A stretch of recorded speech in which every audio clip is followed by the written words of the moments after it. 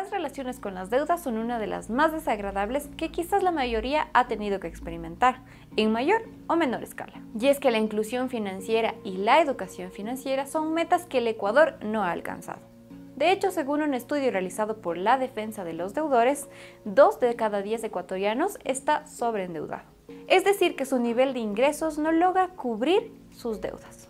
Por eso, hoy en la billetera de BN vamos a revisar qué se recomienda para el manejo de las deudas. Primero debemos realizar el bendito presupuesto, que seguramente es algo que ya has escuchado antes, pero que culturalmente no es algo que hacemos.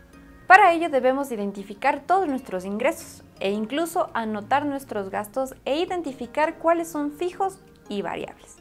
Para ello podemos emplear el modelo 50-30-20, que consiste en que el 50% de tus ingresos totales debe ser destinado a los gastos fijos, es decir, a aquellas necesidades que no se pueden dejar de pagar, como el arriendo, los servicios básicos, la comida, etc.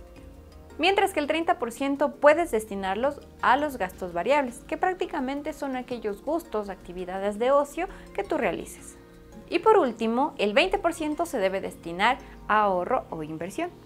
Y claro que este método no puede ser aplicado en muchas realidades, ya que existen muchas personas e incluso familias completas que tienen que experimentar día a día el desafío de poder cubrir sus necesidades.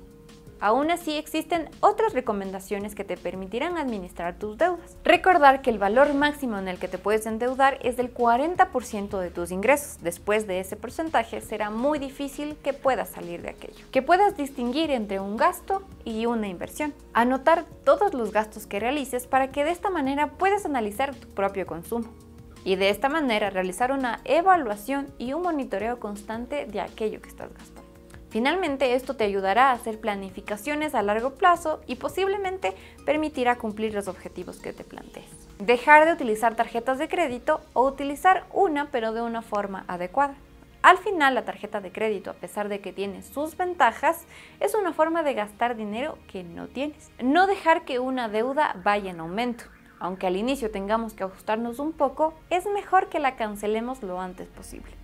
De hecho, un método muy efectivo es la bola de nieve, que consiste en ordenar tus deudas de menor a mayor, que puedas pagar el mínimo en cada una de ellas, pero que siempre sigas abonando a la deuda menor, hasta que puedas culminar con el pago de todas tus deudas, desde las más pequeñas hasta las más fuertes. Anota este consejo y podrás tener más orden en tus finanzas. Por cierto, ¿alguna vez has tenido una clase de educación financiera? ¿Y por qué crees que en Ecuador se habla tan poco sobre este tema?